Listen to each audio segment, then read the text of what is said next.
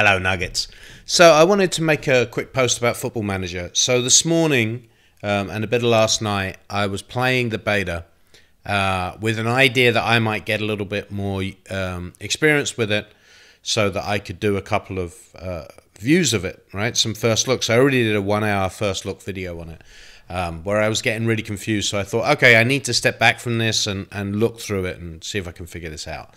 Uh, I've decided not to do that. Um, and here's the reason it's not ready. Okay, it's just not ready. It's I haven't done their beta before, but I always follow the beta. Is it beta or beta? I want to say beta. Uh, it's going to change. It's going to be both. All right. Anyway, I've I haven't done a beta before with Football Manager, but I've always followed it. Right. So I've seen the bug list, and I'm or I'm interested in reviews of it, and I'll watch the same YouTubers showing the before and after and stuff like that. So I've always felt interested in it, and it's always felt like the bugs are minimal. That's why I was excited about the beta because I'm like, well, you know, the game's usually really playable with just a couple of things. I don't feel that this year, and maybe I don't know, so please don't get angry if that's not the case. But I'm just running into stuff that doesn't make sense to me all the time, and uh, the bugs are actually kind of ruining my enjoyment of the game a little bit. And there's a lot of stuff that just feels like it's not finished. It almost feels like a game that was made in the middle of a pandemic.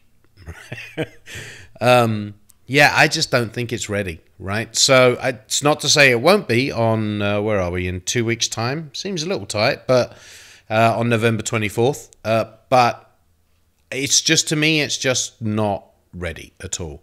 You know, I know that the release candidate, they, they released the beta yesterday. I'd be surprised if that release candidate was made, you know, three hours before they uploaded it, but maybe.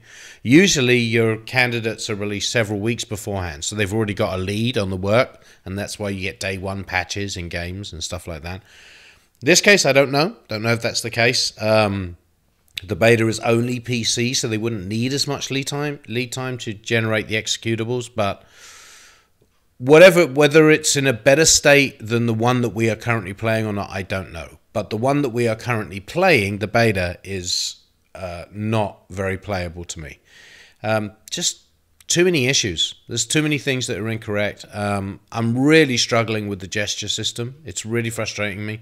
And there's little things like you know and they know about these issues, but like speech bubbles popping up on the wrong person, not seeing reactions. I can't find any way to see how my shouts are affecting the body language of my team.